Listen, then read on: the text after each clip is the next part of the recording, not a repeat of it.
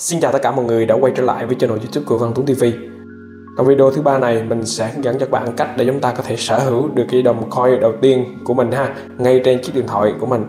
Chỉ vài phút các bạn đã có thể sở hữu được Bitcoin, ETH hay là BNB hay là những đồng coin khác. Hy vọng video hữu ích với mọi người. Nếu mọi người thấy video hay thì có thể ủng hộ mình bằng một lượt đăng ký kênh và một lượt like.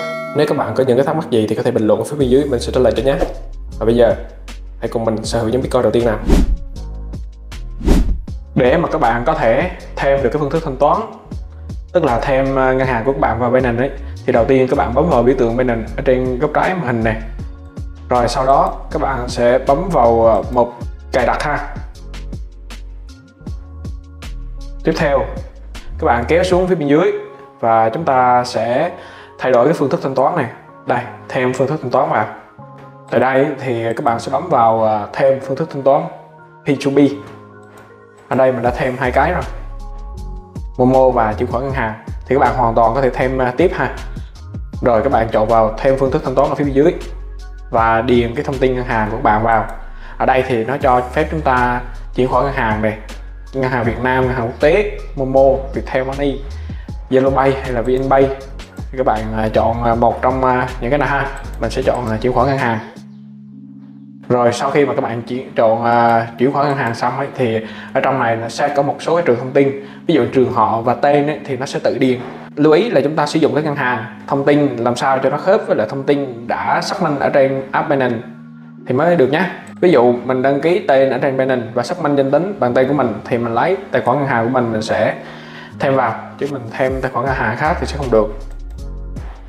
Rồi ở một tên ngân hàng thì à, các bạn có thể lên Google gõ tên ngân hàng của bạn là gì? Ví dụ mình xài MB Bank thì mình sẽ lên Google gõ là tên ngân hàng MB Bank thì đây, ngân hàng thương mại cổ phần quân đội. Đó, thì các bạn sẽ điền copy cái dòng đó và điền vào ha. Rồi, ở một chi nhánh thì các bạn cũng không cần thiết là chúng ta điền vào đâu. Một số tài khoản và số thẻ thì các bạn điền cái số tài khoản của bạn vào ha. Rồi, tiếp theo là nội dung à, chuyển khoản đề xuất ở mục này thì các bạn có thể điền bất kỳ nội dung nào, có thể là ghi là chuyển khoản cũng được. Còn à, một số các bạn kỹ hơn thì các bạn có thể điền những cái trường thông tin khác ha. Sau khi xong thì các bạn sẽ bấm vào xác nhận này. Rồi bây giờ nó yêu cầu xác minh bảo mật. Một cái là email và hai là ứng dụng xác thực authenticator. Thì mình sẽ bấm vào hai cái ứng dụng này mình lấy mã và điền vào thôi.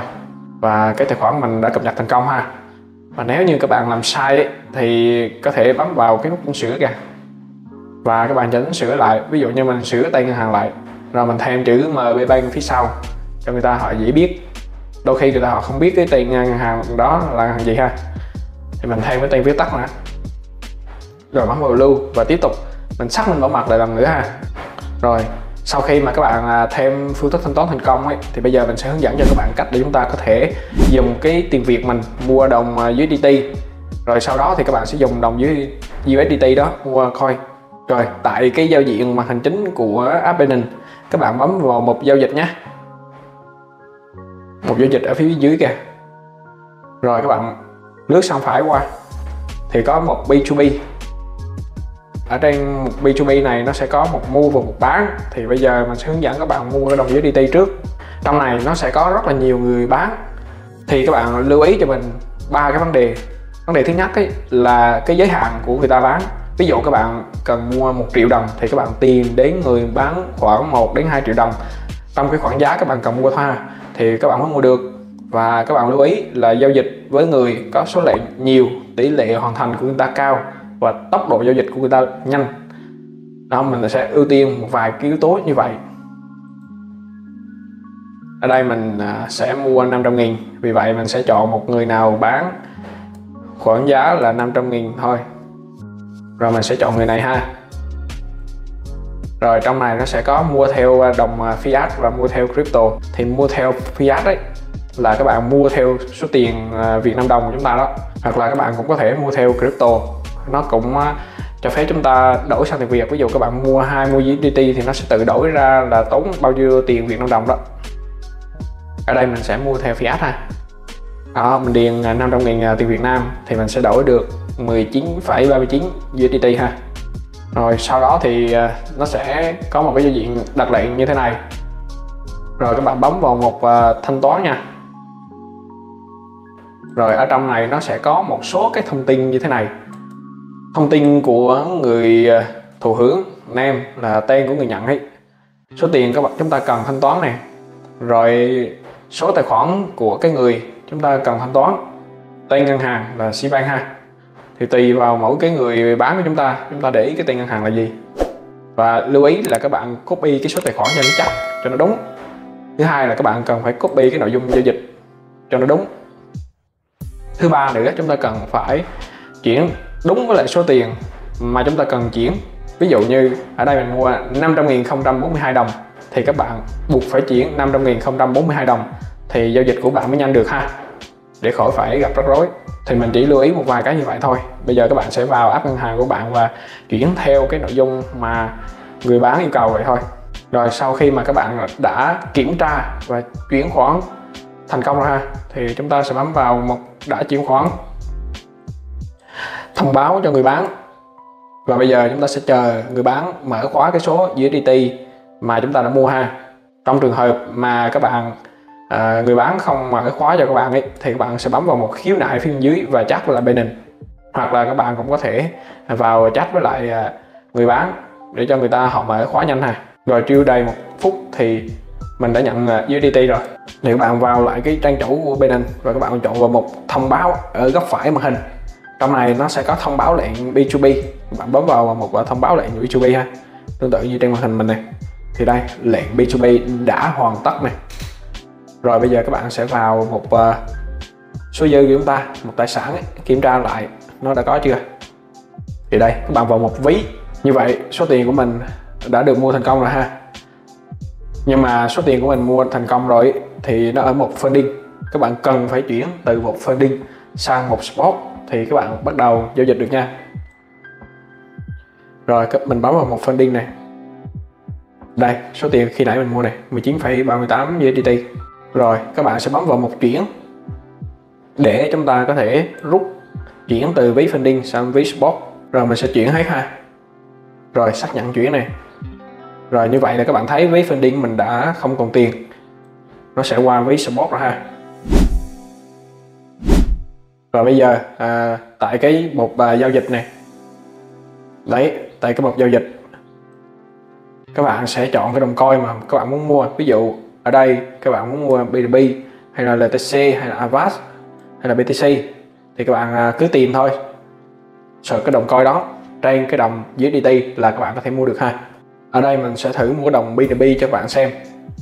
Trong này nó có thể rất là nhiều lệnh nhưng mà mình à, sẽ giới thiệu cho các bạn hai lệnh trước đó là lệnh limit và lệnh market lệnh limit ấy, là các bạn đặt cái mức giá nào ấy khi nào mà giá thị trường nó khớp với lại mức giá mà các bạn đặt ấy, thì các bạn sẽ mua thành công. Còn ờ, cái lệnh market ấy, thì các bạn sẽ mua theo cái giá hiện tại của thị trường luôn. Đây mình sẽ thử đặt cho các bạn xem cái lệnh limit này. Đó, ví dụ mình muốn mua cái đồng này mình trả cái giá với người ta thôi. Ví dụ mình mua với giá là 487 ờ, đô cho một BNB rồi đến theo là tiếp theo là đến ờ, một ờ, số lượng hoặc là ờ, số USDT các bạn muốn mua. Ví dụ như mình mua 19,967 USDT thì mình mua được 0,041 BNB với mức giá là 487 rồi mình sẽ bấm vào mua này. Đó như vậy là nó đã mua thành công ha. Bây giờ các bạn sẽ vào ví và kiểm tra lại số tiền của chúng ta đã có hay chưa. Thì đây mình đã sở hữu cái đồng BNB tổng giá trị mình sở hữu là 0,0389 9207 trị giá là 18,95 đô. Vừa mua là nó đã giảm 0,16 rồi. Như vậy là các bạn đã sở hữu một cái đồng coin rồi đó ha. Và bây giờ mình sẽ hướng dẫn cho các bạn cách để chúng ta có thể bán cái đồng coin chuyển sang tiền Việt của mình ha. Thì đầu tiên các bạn có thể à, chuyển cái đồng BNB đó. Chúng ta sẽ vào một giao dịch lại và chúng ta chuyển sang cái tab bán này rồi mình sẽ bán theo cái lệ limit hoặc là cái lệ market. Thì nó cũng hoạt động tương tự như khi nãy thôi, mình bán ra cái đồng USDT rồi sau đó thì mình bán cái đồng USDT đổi sang tiền Việt thôi. Ở đây mình sẽ bán hết cái số BNB khi nãy mình mới mua ha. Rồi mức giá mình cứ kéo hết cái thanh này hoặc là mình điền à, hết cỡ. Cái số tiền mà số BNB các bạn đang có ha. Rồi các bạn đặt lệnh bán thôi và tương tự như vậy các bạn kiểm tra cái lịch sử lệnh thì bấm vào cái mục uh, quyển sổ có cái đồng hồ ở phía dưới. Khi nào nó báo thành công thì nó ok nhá. Rồi như vậy là đó, đó là thành công rồi ha. Thì bây giờ mình sẽ về ý mình kiểm tra. Đó thì mình đã có được à, 18,94 USDT à, rồi này. Như vậy mình đã lỗ không phải chưa đến một USDT rồi để mà các bạn có thể bán theo cái phương thức B2B thì cần phải chuyển lại cái đồng GTT này về với funding lại một lần nữa. Giống như ban đầu các bạn chuyển sang ấy. Rồi các bạn chọn đồng coi. Âm vào tối đa. Mình sẽ chuyển hết. Xác nhận chuyển. Rồi nó đã về với funding rồi ha. Bây giờ chúng ta sẽ bán cái đồng USDT này sang tiền Việt. Hoặc là các bạn có thể chọn luôn cái giao dịch à, B2B rồi các bạn chọn bán này. Rồi bây giờ mình sẽ bán cho cái người nào mà đang cần mua cái khoản mà mình đang bán ha. Ví dụ mình đang bán khoảng 500 nghìn thì mình chọn người mua khoảng 500 nghìn. Ưu tiên chúng ta mua người nào mà người ta họ có lịch sử đặt lệnh nhiều, giao dịch nhanh thì chúng ta mua thôi. Rồi mình sẽ chọn một người vậy các bạn bấm vào bán. Hoặc là các bạn cũng có thể chúng ta lập ví dụ như mình bấm vào lập cái một số lượng này và điền cái số tiền mà các bạn muốn bán thì nó sẽ lọc ra những cái người muốn mua trong cái khoản đó sau khi các bạn đã chọn được người bán rồi, chúng ta bấm vào nút bán thôi. Và một là các bạn bán theo crypto, hai là bán theo fiat. Thì mình sẽ bán theo crypto, bấm vào tất cả và nó sẽ tự tính ha. Và chọn cái ngân hàng mà các bạn muốn người ta chuyển vào. Ở đây mình đã thêm ba cái ngân hàng. Như các bạn thì nãy mình hướng dẫn cho các bạn thêm một cái thôi. Nên nó sẽ mặc định là chuyển về một cái ngân hàng đó thôi. Sau khi xong thì các bạn sẽ bấm vào bán USDT ha. Và chờ người ta chuyển khoản. Rồi các bạn chờ người ta chuyển khoản ha. Đó, như trên màn hình thì nó đã cộng tiền rồi nè 487 nghìn. Và lỗ 13 nghìn này thì mình rất là khuyến khích các bạn ừ, đăng nhập vào app ngân hàng của bạn, kiểm tra số dư cộng rồi thì các bạn mới xác nhận là đã thanh toán ha. Sau khi người ta họ chuyển tiền thành công thì nó sẽ có nút là đã nhận thanh toán này, các bạn bấm vào. Rồi, bây giờ các bạn cần xác minh bảo mật một lần nữa là đã xong rồi đó như vậy là mình vừa hướng dẫn cho các bạn cách để chúng ta có thể thêm những phương thức thanh toán vào trong Binance và sử dụng tiền Việt, mua đồng USDT và sử dụng cái đồng USDT đó, mua những đồng coin mà các bạn mong muốn nếu mọi người thấy video hay và hữu ích thì có thể ủng hộ mình bằng một lượt đăng ký kênh để xem thêm những video về hướng dẫn đầu tư coin cho người mới bắt đầu từ A đến Z năm 2024 ha. Bye bye mọi người.